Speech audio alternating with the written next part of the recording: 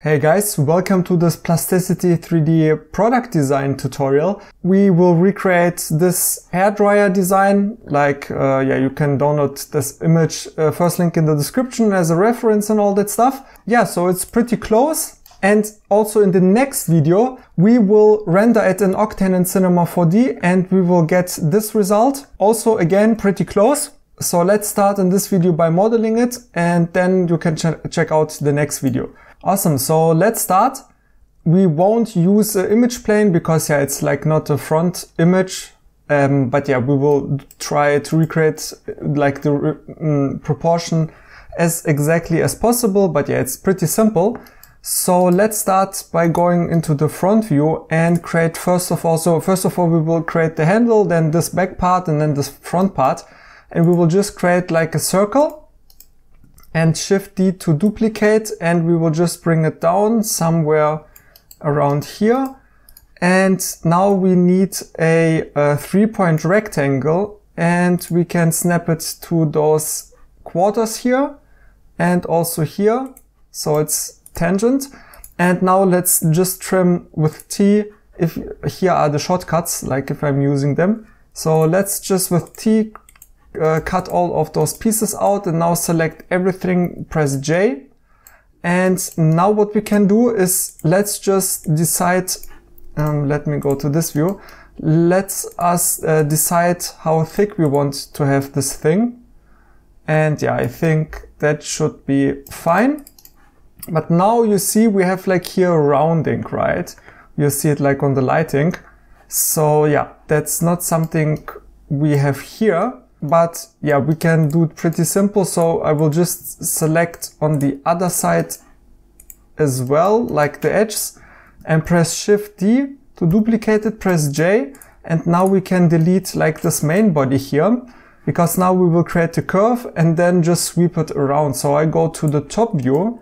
So I know the profile and I will first take like a normal line a straight line and now press Alt 1 to give it like an extra subdivision point and this point we will just drag a little bit outwards. So yeah, something like that. And that should be fine. And now we can just take like this edge here and uh, sweep it or shift P around this thing here. And you see, I think this is already pretty close yeah, maybe I want it a little, little bit more. So again, I press one so I see the point and just drag it a little bit more outwards, just a tiny bit. And yeah, it's again tutorial, so I don't do it exactly, but yeah. So sweep again around, right click, perfect. And we don't need this curve anymore and we don't need, yeah, this curves here anymore. But what we need is, or we need this curve here. So this curve is selected or no, we can just hide it and select this whole body and here patch holes. So now we have like a nice uh, solid body. So now you see, or it's very hard to see, but I guess it because yeah, like you see like here, this thing, it goes like a little bit inside, you know? So yeah, what I found is just like a funny workaround. We can just duplicate this body, shift D and rotate it 90 degrees uh, control to snap it. And now we, we can with, G, with a G bring it outwards. But yeah, you see everything is very smooth. So let's give like those two edges like a nice juicy fillet. So yeah, something, something like that. And also I don't, so we will boolean it out, but I don't want to go like so deep. So I just select it, press S and scale it on like this axis here. Or let's just make this body like maybe a little bit like that. So yeah, let's, so now again, we select this body and this body, press Q, and now we will see how it will affect it. So yeah, we have like this edge here. Okay, but for now it's fine. Right click. And now we have to create, like here you see it better like here, like this, like cut. So it's like two separate parts. Let's do that. And for that, we will just select with shift click all of those yeah, edges and we will just use it as a cutting tool. So let's select everything and press Shift D to duplicate it and bring it outwards. And just now press C and here this body and you see it will cut perfectly. So just right click. So yeah, when it's not working, you can also do just different. So we can't cut this body. I don't know why, but we can just use that curve and extrude it as a surface. So press E and now we can just extrude it like that. You see, and then we have like the surface here. And now you can select this main body, shift click this other uh, face and just press Q and it will be a difference boolean and now it should work. So yes, so now we have like this body in the middle and this body in the outside. And now already let's give like some fillets because we are mostly done with this part. So just, yeah, go to this part here and also select the inner piece and just give it like, okay, no, it's, so this and just give it like a very sharp fillet. And I press shift H, so I see this edge here better and I will do the same for here, very sharp fillet.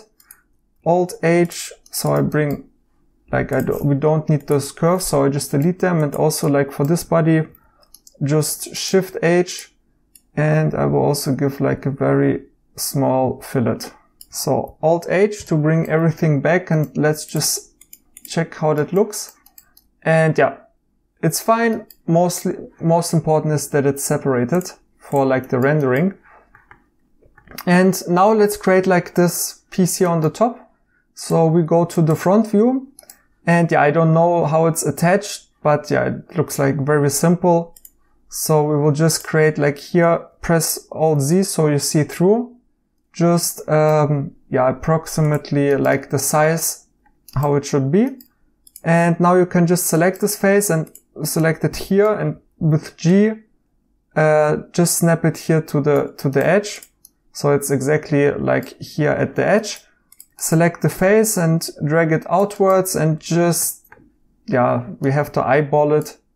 So maybe, yeah, maybe it's a little bit thicker. I don't know, but yeah, we will anyways cut it a little bit. So delete this curve here. And now you see like we have like this like indentation or I don't know, like it's going like inwards. So we can, yeah, very easy. We can just create a sphere and drag it, but just create, uh, press B. So it's creating like a new body.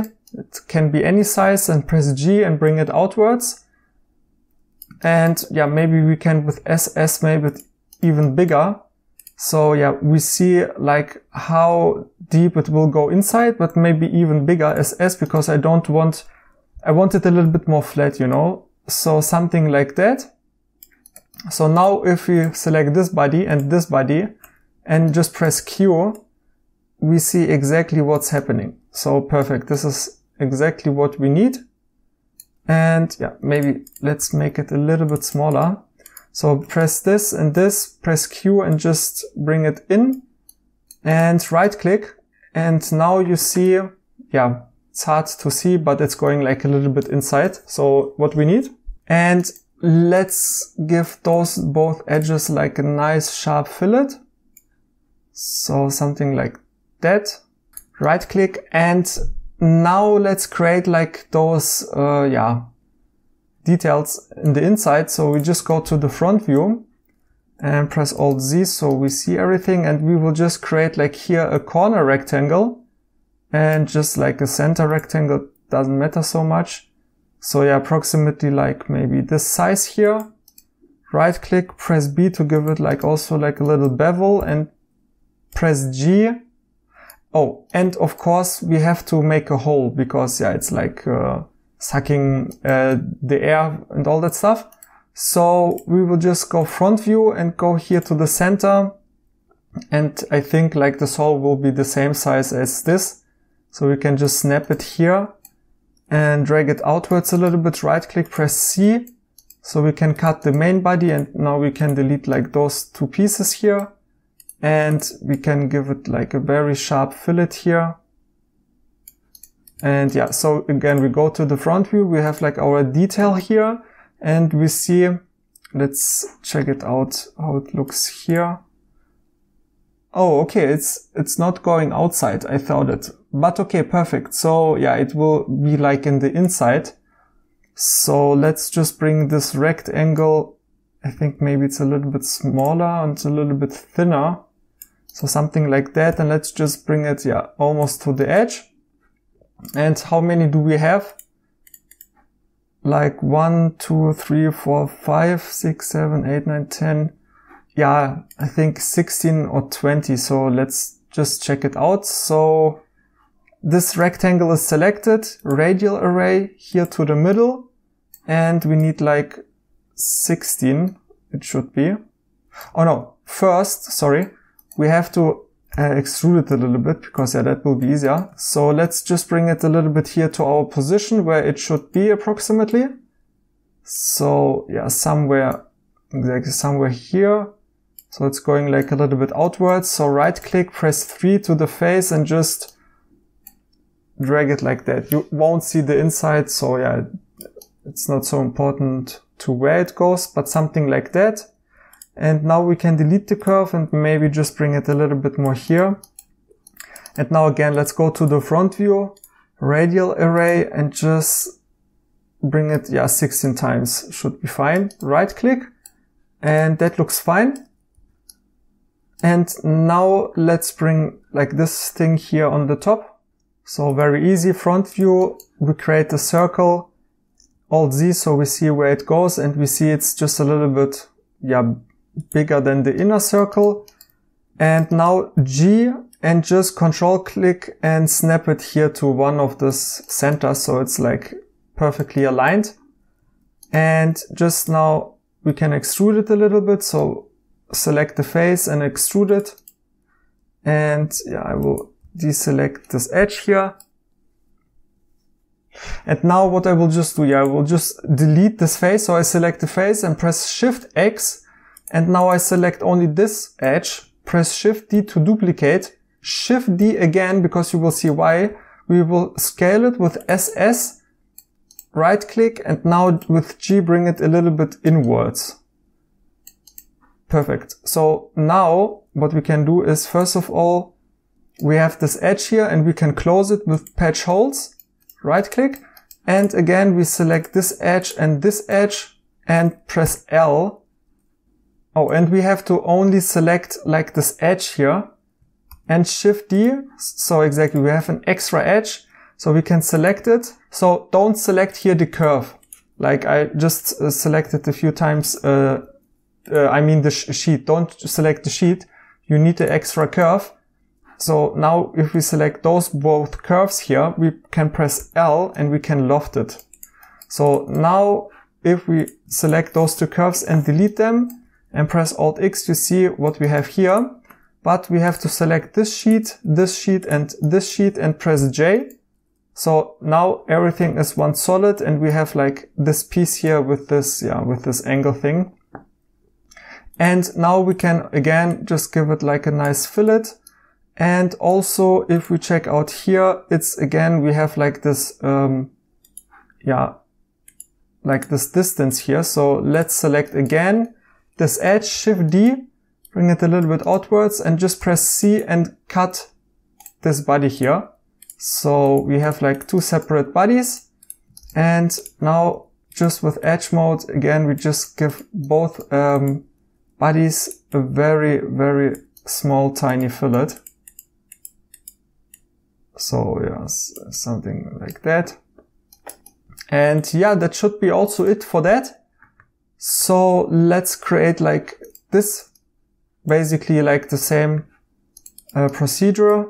So we just go here to the uh, back view, press Alt uh, Z and let's create it a little bit thicker than like our middle piece here. And again, press G, drag it a little bit and just snap it here to one of those edges so it's exactly aligned. And just see like here the difference. We need then also again like one middle cut there. But yeah, we can just select this curve and just drag it outwards a little bit. Let's see like the proportions. So I think it's a little bit too thick, but So I will just select the face and just make it a little bit thinner.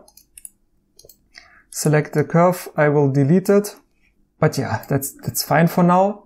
So yeah, I will select this curve here and press O or press Shift D and SS to scale it a little bit down. And now I will use it C and cut like this main body. Now I can delete it. So we just have like here, like one inner side and one outside. So we can assign different materials. And again, just, yeah, give everything like a few nice fillets. So yeah, select all of those edges and give it a nice fillet. Yeah. And also, yeah, we won't do like the front side because yeah, we don't need it for the render. But yeah, we just give it like here, nice little fillet. And yeah, so for this, it's fine. So here also we can do the button and then also like this bottom piece here. So let's start with the button. We just go here to the front view, very simple. And we will just create, um, if you can't snap here to the middle, just go here to the like to the center here of the grid and press shift. Then you have like here this construction line or something like that. And yeah, so with control click, something like that, press C. Oh no, um, let's drag it a little bit out. So select it, press C and cut like this body. And now select just all of those faces and bring them in a little bit. And now select like this body and this QQ. So we bring everything together and give it a nice uh, chamfer. And now we can select all of those edges here in the inside. Shift D to duplicate it and separate it. And now we have to press S and just scale it in that uh, Y direction and also here bring it to zero so it's just straight. So now we can just with three, with three, just extrude it a little bit. Yeah, so again, we will, I will give you like a little chamfer and here everywhere just like some fillets because fillets look always very good at renderings. Perfect. So now let's create like this bottom part. So yeah, we will just here create like a circle on the bottom and use the circle to cut and we can delete the circle and just select like this face and just bring it inwards a little bit. And now again, select both things QQ. And yeah, so now we will select this curve here, Shift D. And again, you see it has a curve. So we need to bring it like here to zero. So make that value zero. And yeah, I will just go to any view, press G to yeah, bring it somewhere here and also again shift D. So I bring it and make it here smaller and again shift D and bring it again and make it even smaller. So something like that. Maybe that evens also even a little bit smaller. And now we can loft that. So let's select this curve here and this curve, press L and this, so this curve and this curve, right click L, so L right click and then those tools here. And maybe we can just make it here, this one a little bit longer. So again, select those two, press L, right click. And now uh, let's delete like those curves here. And here now with object mode, select those two surfaces or sheets, press J so they are connected. And now here patch holes. So we have a solid body. And now with two, we can just give it here like a very thick uh, fillet. And yeah, also here. And yeah, now it's just uh, here, select those edges here, press D, press S to make it just a little bit smaller. And with three, so three and select the face, we can then create like this cable. But yeah, it's not ideal, but yeah, it, it will work fine. And now we can also select this body and this body and combine it because it's like one material.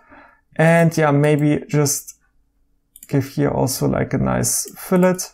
So perfect. I think uh, that's it. Let's have a look.